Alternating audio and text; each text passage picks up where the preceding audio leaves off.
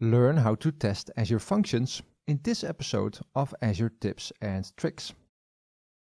When you develop Azure Functions locally on your computer, you should test them with unit tests, just like you would test other code that you develop. This sounds more difficult than it is. Here we are in Visual Studio, and here you see an Azure function that I've created. This is a default function with an HTTP trigger this comes straight out of the box when you do File, New, Azure Function in Visual Studio. This function is very simple. It is triggered by an HTTP request, and if that request has a name in either the query string or in the request body, it returns a message saying hello name. The parameters that this function takes are an HTTP request and a log in the form of a trace writer. So to unit test this function, we just need to simulate these parameters. And I've already done that. Let's take a look in the test project. This is a default Visual Studio MS Test project that you get out of the box. In here, I've created the HTTP trigger unit test class. This contains some tests for the function. This test tests the function by sending it an HTTP request object with a query parameter with a name in it. Here I use this method to create the HTTP request. This code uses the Moq framework to mock the behavior of the HTTP request object. When you mock an object, the mock object mimics the behavior of it, letting the code in the test interact with it as if it were real. So, in this HTTP request object, I incorporate the query string and the body, just like in a real request. Let's go back. So that's one parameter. I simulate the second one like this.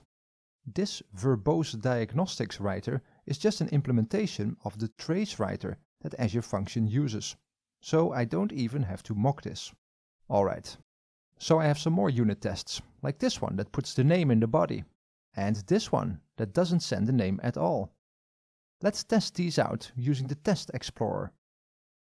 Here I can simply say run selected tests, and they will run. And they all passed. Okay, that was testing with unit tests. These just test if the code works, not if the actual function works when it is running. To test that, I have to send the function a real HTTP request and test how it reacts. We can do that with an integration test. In this file, I've created an integration test. This is also a regular test method, just like the unit tests. Here's what it does. First, I start the Azure Function host. This runs the function on my local machine using the func.exe runtime. This is an Azure Function runtime that gets installed on your machine with the Azure Function tools for Visual Studio. I tell func.exe to start from the directory of my Azure Function. Once I've done that, I give the process 5 seconds to make sure that everything is up and running. Next, I send an actual HTTP request to the locally running function. I do that by building the HTTP request as a JSON body and sending that through an HTTP client object to this address. This is where the function is running. You can find your address by locally running your Azure function.